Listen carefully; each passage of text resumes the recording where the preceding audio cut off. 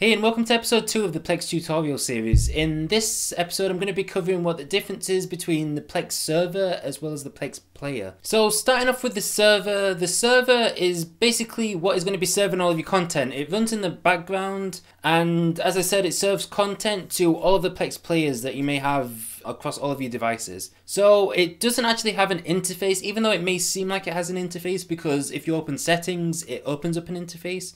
But that is actually the Plex player, not the Plex server, that is showing that interface. So because the server is serving all of your content, obviously if you have the server off, then that content can't be served. So you're not going to be able to access your content on any of your devices. The Plex server actually runs on quite a lot of things. It runs on Macs, it runs on Windows, it runs on Linux, as well as some NAS drives and even some routers.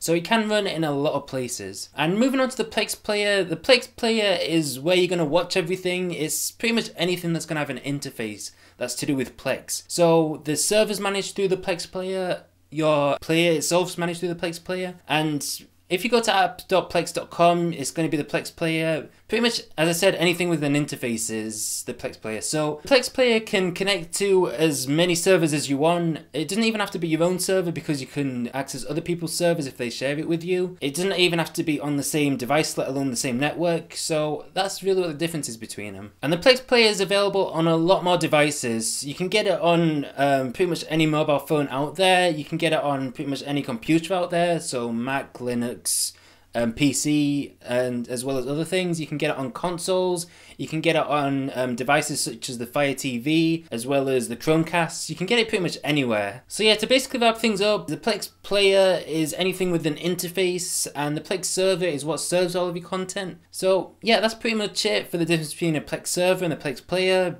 If you like this series, be sure to give it a like. And be sure to tell me down below that you're enjoying it too and looking forward to future episodes, hopefully. So um, I'll see you all in the next video. Hope you have a great day. Bye.